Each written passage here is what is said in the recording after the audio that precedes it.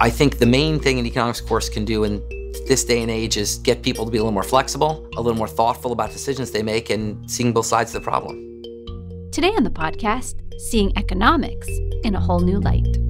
I've had application in the course about demand and supply about Kim Kardashian tweeting herself out a picture of an exercise corset and that it increased demand for exercise corsets. And so thinking about how something where students can see it and say, wow, I hadn't realized that economics helped me think about that problem. Welcome to Chalk Radio, a podcast about inspired teaching at MIT. I'm your host, Sarah Hansen from MIT OpenCourseware. In this episode, we'll be talking about the course 1401 Introductory Microeconomics. This course is filled with unique and creative applications for microeconomics in our everyday lives. I'll be chatting today with the creator of this course, Professor John Gruber. One of the things I was most excited to find out was the way people perceive economics. So I asked Professor Gruber what misconceptions students tend to bring to this class. That's a good question. I think they tend to perceive it as maybe softer than it is, maybe not perceive that you're going to derive fairly sharp tools that are going to help you explain a lot of the world fairly easily. Then, on the other hand, they often come sort of with expectations that will explain more of the world than we can. So, how do you help them address these misconceptions? I think by just being honest about the limitations and benefits of our models, by explaining the power that our models can deliver in fairly simple terms and explaining a lot of the world, but at the same time, representing the things the models can't easily explain and being honest about that and trying to get students interested in studying more economics so they can explain those things as well. I don't expect most viewers of my videos to go on and get a PhD in economics, unfortunately. Uh, I expect they're going to go out and have other jobs, do other things, and I want them to be more educated consumers of news and to understand what's going on in the world in terms of economic policy. Could we talk a minute about the real world applications? It's okay. a really interesting part of the course. You have LeBron James's college decision, the Uber uh, surge pricing. Tell us about your decision to really anchor the course with these real world applications. It's what makes economics fun. I mean, once again, I'm not training people to be economics PhDs here. I'm training people to think like an economist. And thinking like an economist, if you've got a very facile mind and you sort of look at the basic theory videos I teach you, you can understand it. But you only really understand something when you go out in the real world and apply it. And so it's a chance for people to see the ways that economics rules the world, but to also sort of apply what they learn to make sure they understand it. What tips for educators do you have about selecting really good applications?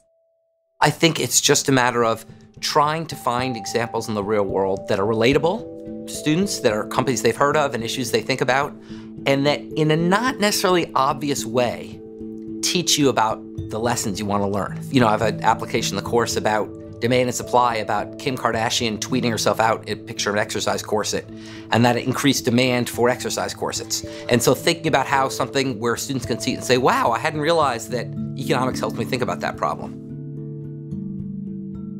Professor Gruber's passion for economics is clear, and I wanted to get to the bottom of it. Why does he care so much about helping others find their passion for economics, and how did his own curiosity begin? I came to MIT knowing that I was good at math, but I didn't really like it. Uh, what I liked was real world social policy types of issues. And I took 1401 and said, oh my God, I can use math to apply to the real world. Isn't this cool? And I've been sort of hooked ever since.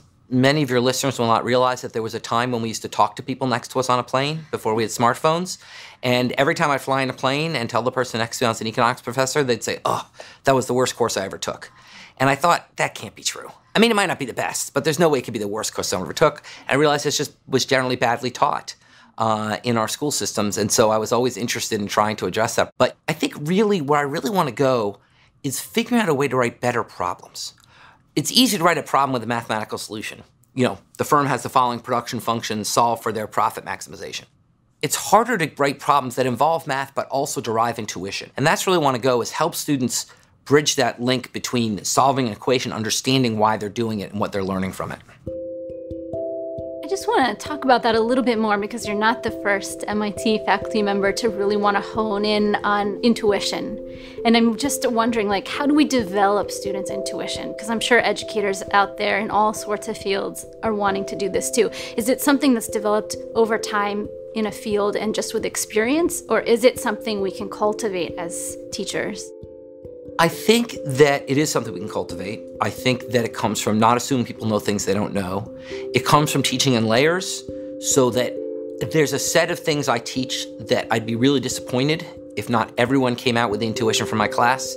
There's others more subtle concepts that if not everyone remembers them or understands them, then that's not the end of the world. But I'd like students who want to go on to be like, ooh, that's interesting. I want to go down that path.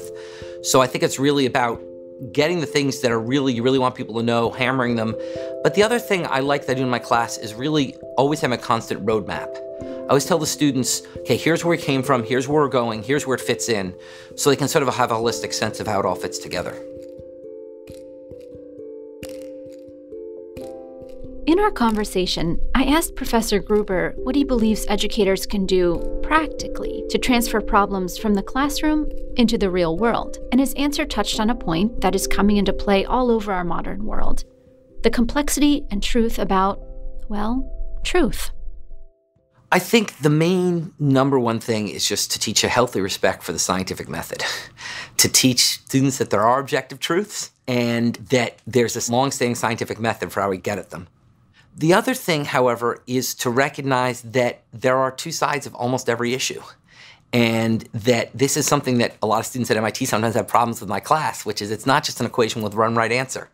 There's pros and cons to a lot of these things. So I think it's teaching a search for the objective truth that can help you come to the conclusion that works for you. That there's not necessarily one right answer. You and I might disagree about a topic, but we should agree an objective set of facts and have a scientific method for getting to our conclusion. And I think that's the key, in the, today's world especially, that's the key, is just getting people to have a healthy disagreement rather than unhealthy disagreement. One of the most compelling parts of this course is how it emphasizes ways to carry its concepts forward into the real world. Students are given specific pathways they might follow in their career or lives outside of school, where they can use these concepts. This was something really important to Professor Gruber, and I wanted to know why. I feel that economics is enormously powerful. I'm what you might call an imperialistic economist. I feel like economics can explain lots of things in the world, and there's very few situations where a good economic framework can't help you at least go forward in thinking about it. And I don't want students to just take the AP test and forget about it. Uh, quite frankly, I want this to be something they bring with them and actually keep with them. You know, it's a famous old Saturday Night Live skit about what you remember five years after college, and it's five minutes and three and a half minutes of it's spring break. I want them to try to have a basic set of intuitions that they can understand, can apply to decisions they're going to make about how much to save in their 401k, to how hard to work, to what car to choose, to how to buy a house, etc.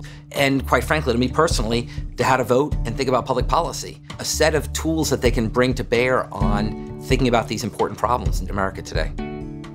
One slight difficulty we have is a lot of students come in much too determined and set in their ways on what they're going to do. I'm going to be an engineer, I'm going to be a computer scientist, and they're, they're often not flexible enough. So part of, I view my job, and a lot of times when they're taking economics, they're just taking because they have to. And my job is to get them to say, hey, I actually like this. And I love nothing more when I get an email from a student saying, wow, I wasn't even going to study economics, but I like your course, now I want to major in economics. That was wonderful. But I also want the students that's not going to major in economics to several years later saying, hey, yeah, that's something I can relate what I learned in economics to how I think about that problem, and that could help me in my life. Microeconomics is basically economics. Macroeconomics essentially applied micro. it's basically it's about everything, every decision we make, every decision firms make can all be informed by economic framework, and they can be informed in a particularly healthy way today, because the economic framework really is about trade-offs and about thinking the fact that nothing's easy. Everything involves pros and cons and trade-offs, and there's shades of gray to every decision we make. And I think the main thing an economics course can do in this day and age is get people to be a little more flexible, a little more thoughtful about decisions they make, and seeing both sides of the problem.